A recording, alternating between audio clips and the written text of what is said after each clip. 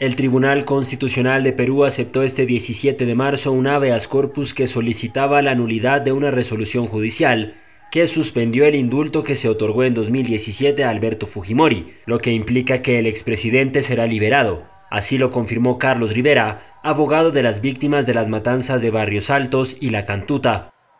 El alto tribunal declaró fundado el recurso interpuesto por el abogado Gregorio Parco Alarcón contra la resolución de la Corte Suprema, que en 2018 dejó sin efecto el indulto otorgado a Fujimori el 24 de diciembre de 2017 por el entonces presidente Pedro Pablo Kuczynski.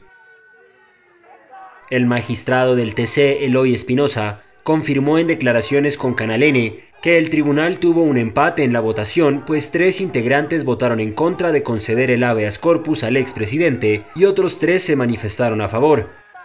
Entre quienes apoyaron la medida se encuentra el presidente del TC, Augusto Ferrero, quien tuvo la facultad de emitir un voto de calidad o voto doble para romper la igualdad.